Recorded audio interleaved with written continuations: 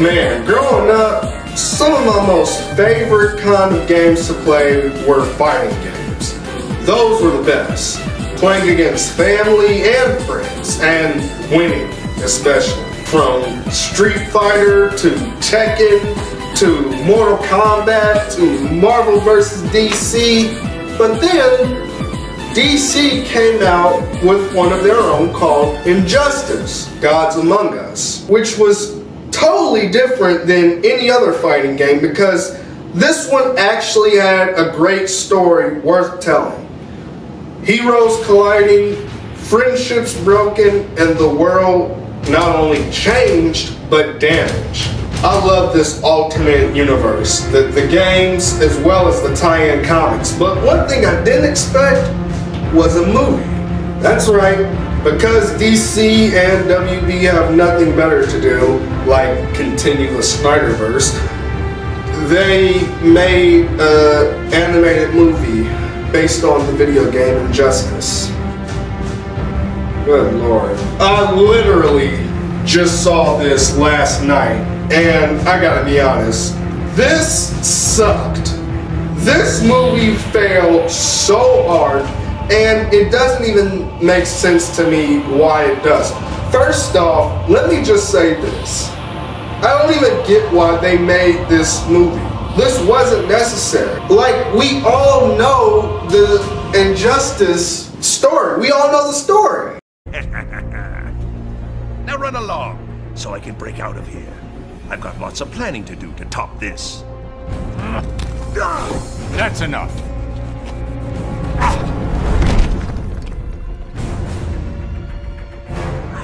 It soon, but think you'll ever love again? Maybe you won't kill your next family.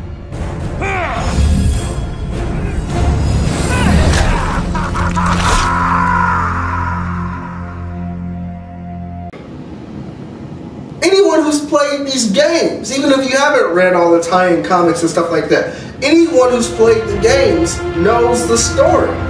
I don't understand. It's like we saw that. I don't understand what the point of making that into a cartoon animated adaptation. I, I don't get what the point of that was. And then, number two, if you're going to do that, if you're going to make a cartoon movie of this, why not have the same voice actors that you use in all the video games? Because I mean, honestly, these voice actors sucked. The character designs weren't all that great either, but the voice acting especially was bad. Number three, if you make an animated movie based on a video game series, why would you change things up dramatically? Changing a few minor things here and there, that, that, that can be overlooked, that's acceptable, but even that is not that necessary because this is an entire alternate universe. This is a rich universe. They have access to the video games and a crap ton of different tie-in comic stories to pull from. There are so many stories that precedes even the first game that came out. They could have used that. They could have really made this something special. Literally all they had to do was just take the pages and put it on screen. I don't get why this was so bad. And really, I and when I say I don't I get why it's so bad, I know why it was so bad. But really what I'm saying, I don't get why I don't get why they made the choices they made in this movie. First of all, I don't get why they made this movie. But second of all, I don't get why they made some of the choices they made. I know why it was so bad. One of the reasons is because uh, the changes they made in these were big changes. You cannot call your movie Injustice when you don't follow the storyline of Injustice. Like killing off major characters in your movie who never died in any of the games. Or changing the entire ending completely. It's like, what is wrong with these people? In the film, Batman brought in a different Lois Lane from an alternate universe to talk some sense into Clark. And that worked. How touching, how fortuitous, how wrong. I'm sitting here like, did, did, did I imagine something different? Because I could have sworn it was the Justice League we, the audience, are more familiar with that came and stopped Superman in his reign. Like, how are you gonna tell a story about a story and not even follow the story? Doesn't make any sense. I mean, and you know, don't get me wrong, the film had a few good moments here and there.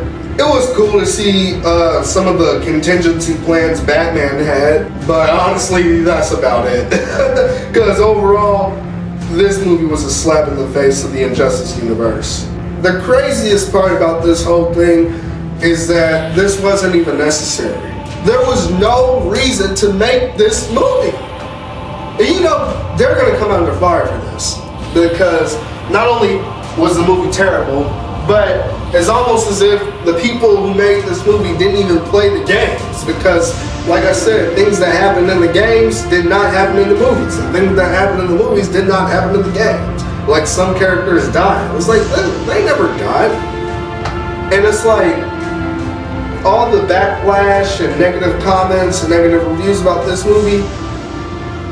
The crazy part about it is they didn't even have to hear none of this because they didn't have to make this movie. It wasn't necessary.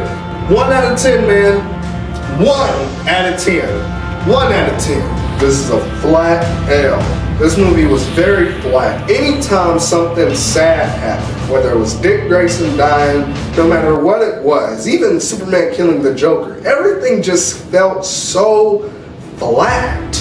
Whereas in the games, you can feel the heartbreak and betrayal these characters dealt with. It's devastating. Each one of them has suffered loss, not only within their personal lives, but within the Justice League. The Justice League is broken. It makes Captain America's Civil War look like a minor sibling rivalry.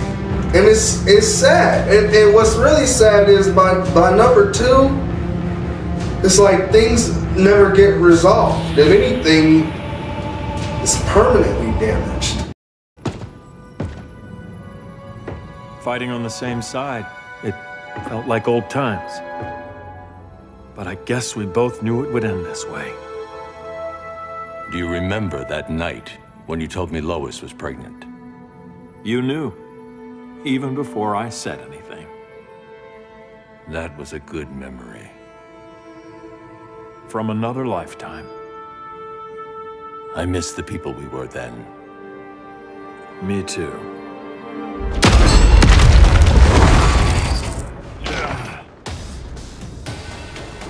Quit, Bruce. You can't win. You of all people know Clark. I never quit. I love the this universe, the Injustice universe. It's it's a great storyline filled with great characters and such sad devastation. But this movie, it wasn't injustice. It has some of the same elements to it, but I would not. This this is irrelevant to me. This is irrelevant. Wasn't even necessary to again, but a huge disappointment, really. But let me know what you guys thought about this in the comment section below. Uh, if you like this video, please give me a thumbs up, and if you're new here, please be sure to subscribe. Thank you so much for watching, guys. I'll see you next time.